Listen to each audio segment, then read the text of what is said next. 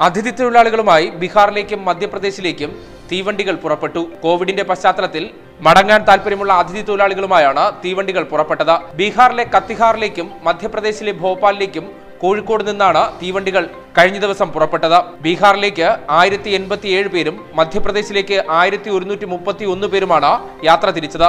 കഴിഞ്ഞ ദിവസം രാത്രി ഏഴ് മണിക്കും ഒൻപത് മണിക്കുമായിരുന്നു തീവണ്ടികൾ. ബീഹാർ യാത്രക്കാർക്ക് തൊള്ളായിരത്തി ഇരുപത് രൂപ നിരക്കിലാണ് ട്രെയിൻ ടിക്കറ്റ് ലഭ്യമാക്കിയത്. സ്വന്തം ചിലവിലാണ് എല്ലാവരും ടിക്കറ്റ് എടുത്ത് മടങ്ങിയത്. ഇതോടൊപ്പം തന്നെ K S R T C bus ചാർജും അതിഥി തൊഴിലാളികൾക്ക് തന്നെ സ്വമേധയാ വഹിക്കേണ്ടി വന്നു. നാൽപ്പത്തിരണ്ട് K S R T C ബസ്സുകളിലായാണ് തൊഴിലാളികളെ കോഴിക്കോട് എത്തിച്ചത്. ഒരു ബസ്സിൽ പരമാവധി മുപ്പത് പേരാണ് ഉണ്ടായിരുന്നത്. എല്ലാവരുടെയും വൈദ്യപരിശോധന പൂർത്തീകരിച്ചാണ് റെയിൽവേ സ്റ്റേഷനിൽ എത്തിച്ചത്. യാത്രയ്ക്കിടെ കഴിക്കാനുള്ള ഭക്ഷണപ്പൊതികളും തൊഴിലാളികൾക്ക് നൽകി.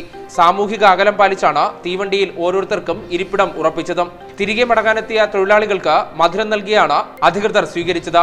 അതിഥി തൊഴിലാളികൾക്ക് മധുരം നൽകിയാണ് ഉദ്യോഗസ്ഥർ ഇവരെ സ്വീകരിച്ചത്. കൂടാതെ സബ് കളക്ടർ ജി പ്രിയങ്ക ഇവർക്ക് ഭക്ഷണ കിറ്റുകൾ വിതരണം ചെയ്തു. രണ്ട് ട്രെയിനുകൾ പുറപ്പെട്ടതോടെ കോഴിക്കോട് ജില്ലയിൽ നിന്ന് ഇതിനോടകം മൂവായിരത്തി എഴുന്നൂറ്റി എൺപത്തി അഞ്ച് അതിഥി തൊഴിലാളികളും മലപ്പുറം കണ്ണൂർ ജില്ലകളിൽ നിന്നായി എണ്ണൂറ്റിയേഴ് തൊഴിലാളികളും കോഴിക്കോട് നിന്ന് സ്വദേശത്തേക്ക് മടങ്ങി. ജാർഖണ്ഡ് ബീഹാർ മധ്യപ്രദേശ് സംസ്ഥാനങ്ങളിലുള്ളവരാണ് തിരികെ നാട്ടിലേക്ക് മടങ്ങിയത്.